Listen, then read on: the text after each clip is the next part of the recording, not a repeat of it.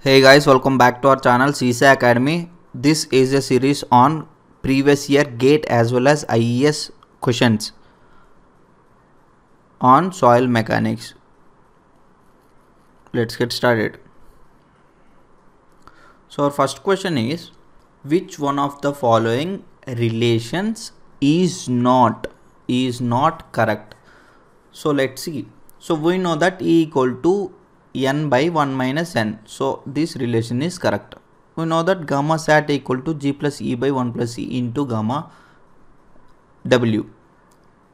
And uh, we don't know this relation so keep it like that only and we know that degree of saturation equal to wg by e therefore e equal to wg by yes so this answer also right so the remaining answer will be the answer. So n equal to e by 1 minus e is not a correct relation. This relation look like this. n equal to e by 1 plus e. This is the relation. So here it is wrong. So that's why this is the answer. Because he asked which which one of the following relations is not correct? So that's why that is the answer. So the next question is if the porosity of your soil sample is 20% the void ratio is okay. So from from this relation e equal to n by 1 minus n. That equal to what is n? 20% means 0.2 0.2 by 1 minus 0.2 that equal to 0.2 by 0.8 so that is 2 by 8 that is 1 by 4 therefore it is 0.25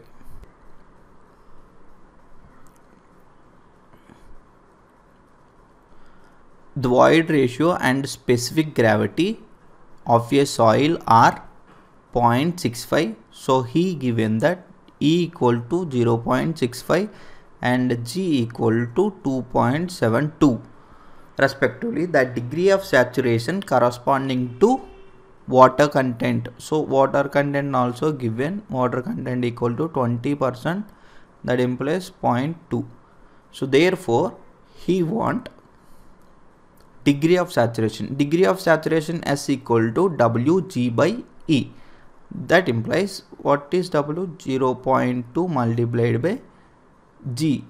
2.72 by e. 0.65 that equal to 0.2 multiplied by 2.72 by 0.65 so it is 83 point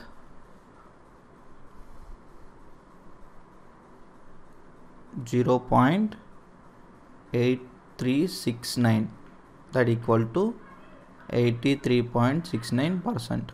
So this is the answer. Okay.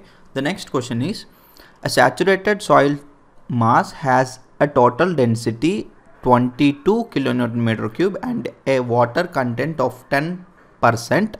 The bulk density and dry density of this soil are. Okay. So it means that he said that a saturated soil mass has total density. Total density means bulk density. That is 22 so he want bulk density and dry density. So dry density. There is a relation between bulk density and dry density. Why? Because we know that bulk density equal to g gamma w by 1 plus e multiplied by 1 plus w which is so this g gamma w by 1 plus e is gamma d which is dry density so dry density multiplied by 1 plus w. So we want to find gamma d. So gamma d equal to gamma b by 1 plus w which is 22 by 1 plus so he given that water content is 10% that is 0.1 so that equal to 22 by 1.1 which is 20 so the answer is the bulk density is 22 and the dry density is 20 so answer will be this. Dry density uh, bulk density is 22 and dry density is 20 the next question is the water content of a saturated soil and specific gravity of soil solids were to be were found to be 30% and 2.7 respectively assumed the unit weight of water to be 10 kilonewton per meter cube the saturated unit weight and the void ratio of the soil are. Okay. So first you have to find void ratio. Okay so we know that degree of saturation equal to wg by e. He said that the water content of a saturated soil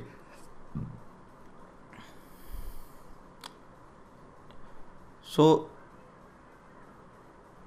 if I assume that if it is fully saturated then degree of saturation is 1 therefore E equal to Wg which is what is W water content? Water content equal to 0.3 multiplied by what is G? 2.7 which is 0 0.3 multiplied by 2.7 that is 0. 0 0.81 so void ratio is 0 0.81 so you can tick this as your answer but let's see what the um, unit weight of uh, saturated unit weight is. So saturated unit weight gamma sat equal to g plus e by 1 plus e multiplied by gamma w. That equal to what is g 2.7 plus 0.81 by 1 plus 0 0.81 multiplied by 10 that equal to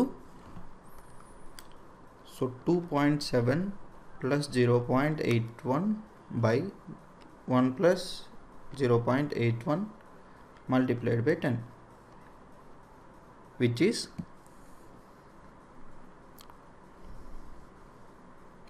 Nineteen point three nine two, approximately 19.4 which is gamma sat